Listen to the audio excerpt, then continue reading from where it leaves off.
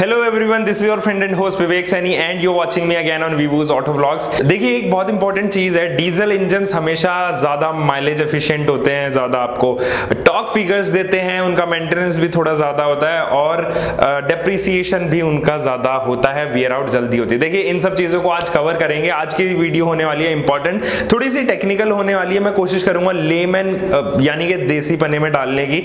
बस गौर फरमाइएगा, आपके साथ की ज़रूरत है। सब्सक्राइब कर लीजिए, तुरंत मेरे चैनल को, क्योंकि मैं कुछ ऐसी इंटरेस्टिंग वीडियोस अब वीकेंड पर प्लान करने जा रहा हूँ, या फिर आपके रिक्वायरमेंट्स के अकॉर्डिंग हो सकता है, मैं वीकडेज में भी लेके आ जाऊँ बट अभी तो फ़िलहाल वीकेंड का ही प्लान है। तो जल्दी से सब्सक्राइब करके बेल आइकन दबा लीजिए here is the Instagram ID यहाँ पर मुझे रिक्वेस्ट सेंड करिए और हाजिर होगी आपके लिए ये वीडियो देखिए, सबसे पहले आपको एक्सप्लेन करने के लिए चार फिगर्स यहाँ पे मैंने ड्रॉ की हुई है।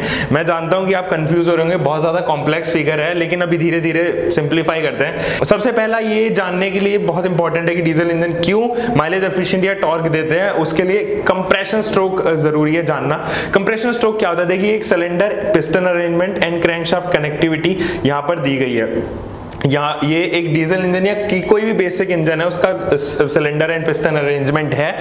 इसके अंदर, जैसे ही पिस्टन अपर स्ट्रोक लेगा ना तो वो कंप्रेस करेगा। एयर को डीजल इंजन में एयर को एंड पेट्रोल इंजन में एयर फ्यूल मिक्सचर को।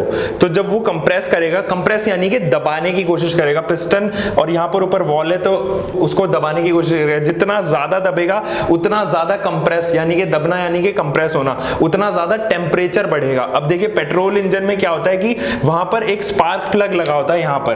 तो आपको ज़रूरत नहीं पड़ती है इग्निशन की, यानी कि उसको जलाने की ज़रूरत नहीं पड़ती लेकिन जब डीजल इंजन की बात आती है तो वहाँ पर कोई स्पार्क प्लग नहीं होता, आपको ये बात पता है। अब इस चीज़ को इतना दबा देना, उसको कि वो अपने आप ही इग्नाइट हो जाए। कैसे इग्नाइट होगी?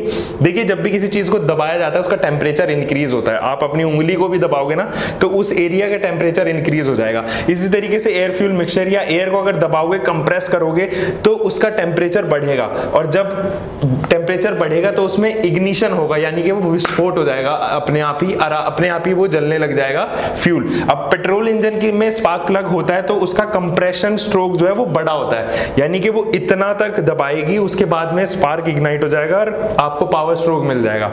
लेकिन जब डीजल इंजन की बात आती है ना तो वहाँ पर दबाव ज़्यादा रखना पड़ता है हमें. क्यों? क्योंकि वहाँ पे कोई भी एक सपोर्टिंग हेल्प नहीं होती इग्नाइट करने के लिए. 210 डिग्री होता है डीजल का टेम्परेचर जहाँ पर वो सेल्फ इग्नाइट कर सके और 260 डिग्री के करीब होता है प्लस माइनस 15 होता रहता है डिपेंड्स अपॉन टेम्परेचर पेट्रोल का, जहाँ पर वो सेल्फ इग्नाइट यानी कि अपने आप से उसमें विस्फोट हो जाए। दूसरी चीज़ आती है स्ट्रोक की।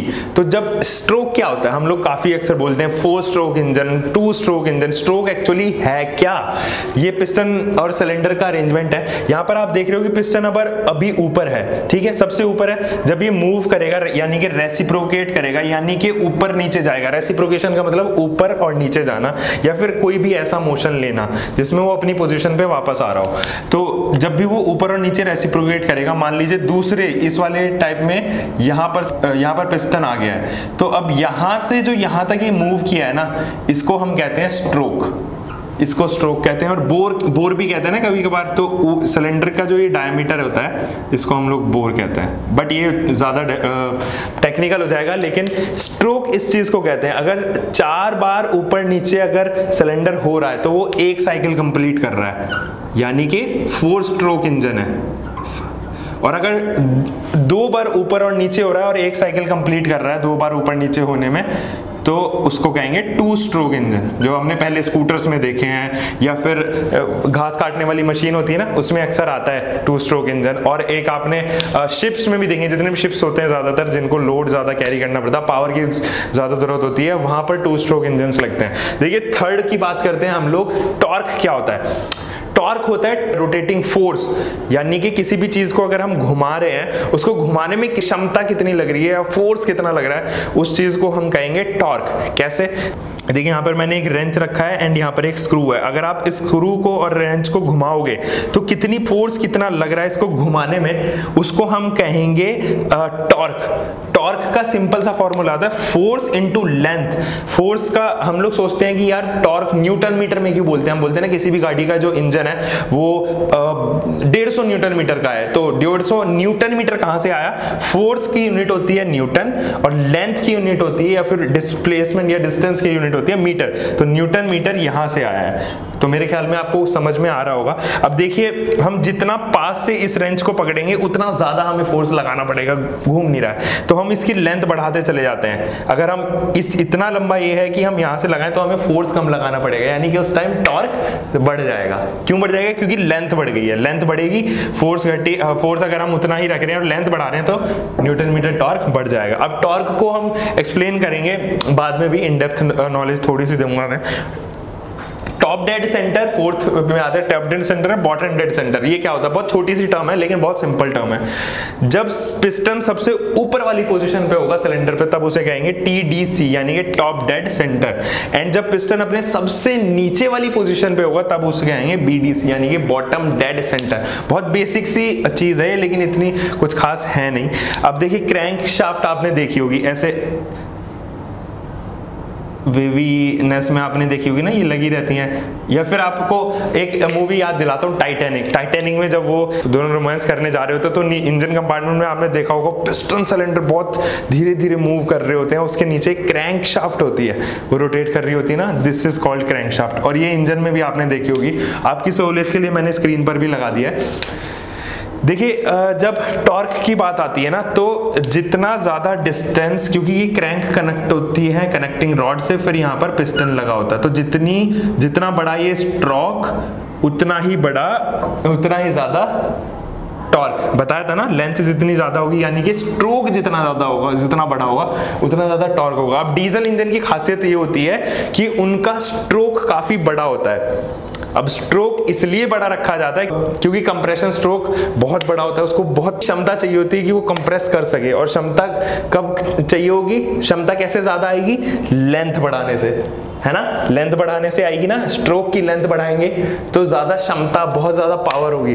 तो इसलिए स्ट्रोक बड़ा रखा जाता है, क्योंकि कंप्रेशन स्ट्रोक यानी कि कंप्रेस हमें ज़्यादा करनी पड़ती है। अब ये बहुत छोटी सी चीज़ हो गई, लेकिन समझ में आ रहा है, नहीं समझ में आ रहा थोड़ा सा टेक्निकल हो गया मुझे पता है ये सारा बट स्टिल आपको समझाने के लिए, आपके बेसिक्स क्लियर करने के लिए ये मैंने रखा। सबसे पहली बात करते हैं माइलेज क्यों ज़्यादा होता है डीजल इंजन का? देखिए जब डीजल की बात आती है तो उसके अंदर की जो क्षमता है, जब वो जलेगा रहेगा या फिर कैलोरीफिक वैल्यू जिसको हम कहते हैं, वो बहुत ज़्यादा होती है। एक लीटर को बर्न करने में डीजल 38.5 मेगा जूल्स की क्षमता रखता है, इतनी एनर्जी रिलीज़ करता है। तो वही अगर पेट्रोल की बात करें तो एक लीटर पेट्रोल बर्न करने में 34.8 के करीब मेगा जूल पर लीटर की क्षमता रखता है अगर उसको हम जलाएँ तो। तो इसलिए माइलेज भी ज़्यादा रहेगा। अब क्यों रहेगा? मान लीजिए मैं सेम क्षमता की, यानी कि सेम वॉल्यूम का इंजन ले रहा हूँ। 1000 सीसी का पेट्रोल इंजन एंड 1000 सीसी का डीजल इंजन अब देखिए माइलेज क्यों ज़्यादा देगा? एक लीटर मैंने बर्न किया,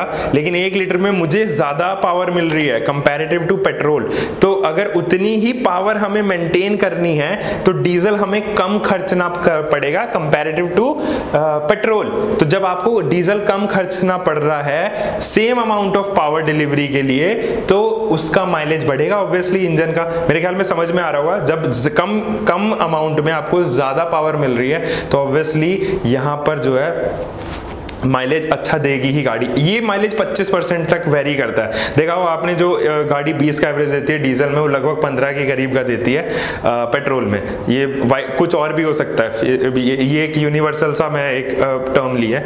दूसरी चीज़ टॉर्क क्यों ज़्यादा होता है? देखिए, मैंने ऑलरेडी एक्सप्लेन कर दिया है, आपको टॉर्क क्यों ज़्यादा होता है? क्योंकि उसका स्ट्रोक बड़ा होता है। और पेट्रोल का स्ट्रोक छोटा क्यों होता है? क्योंकि उसके पास में एक हेल्पिंग हैंड है, स्पार्क प्लग। यहाँ पर एक स्पार्क प्लग लगा होता है तो उसका स्ट्रोक पिस्टन यहाँ तक ही जाएगा और इसके बाद में विस्फोट हो जाएगा, क्योंकि यहाँ पर स्पार्क प्लग लगा हुआ है और स्ट्रोक छोटा ही रहेगा।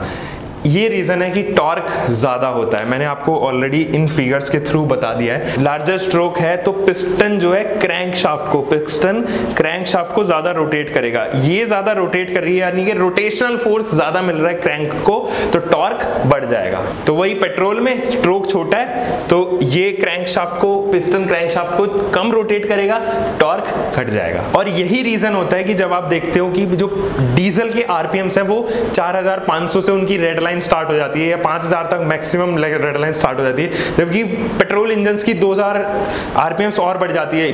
पैंसठ सौ आरपीएम के आसपास से 8000 9000 तक वेरी करती है उनकी रेड जोन क्यों? क्योंकि यहाँ से यहाँ तक डिस्टेंस बढ़ रही है तो ऑब्वियसली टाइम भी लगेगा डीजल इंजन को। तो यहाँ तक ऊपर जाने में एक रोटेशन में ज़्यादा टाइम लगेगा तो इसलिए उसके आरपीएम घट जाएँगे। रोटेशंस पर मिनट मिनट बढ़ रही है, यानी कि मिनट टाइम बढ़ रहा है तो रोटेशंस कम होगी ना ऑब्वियसली आरपीएम की फुल फॉर्म बताया ना रोटेशन पर मिनट और मिनट बढ़ रही है तो फिर रोटेशन कम हो जाएँगे। एक चीज़ और कंप्रेशन ज़्यादा होने की वजह से ब्लास्ट भी बहुत बड़ा होता है डीजल में, और यही कारण बढ़ता है वियर एंड टीयर आउट का डीजल इंजन में ज़्यादा और इसीलिए आपका मेंटेनेंस भी ज़्यादा होता है और यही रीजन होता है क्योंकि जब कंप्रेशन ज़्यादा होगा ब्लास्ट बड़ा होगा तो ज़्यादा आउटपुट भी देगा इंजन और उस आउटपुट को झेलने के लिए कंपोनेंट्स भी हैवी होने चाहिए और कंपोनेंट्स हैवी होंगे तो वेट भी बढ़ेगा। यही कारण होता है कि डीजल इंजन ज़्यादा हैवी होते हैं वेट में। और ये जो ब्लास्ट है वो ऑब्वियसली वियर आउट करेगा कंपोनेंट्स को इसलिए आपको मेंटेनेंस भी जल्दी जल्दी और महँगी करानी पड़ेगी। सो so बस ये था आज की इस वीडियो में। ये कुछ डायग्राम्स जो बहुत कॉम्प्लेक्स नज़र आ रहे थे। मैं उम्मीद करता हूँ कि अभी थोड़ा बहुत आपको आ, समझ में आया होगा इस वीडियो के थ्रू बट बस यही था एक सिंपल सा। अगर कुछ भी इसमें आपको नहीं समझ में आ रहा हो कुछ भी कॉम्प्लेक्स डायग्राम में तो ज़रूर मुझे कमेंट सेक्शन में बताइए। इंस्टाग्राम पर बताइए एरी इंस्टाग्राम आईडी आपके सामने।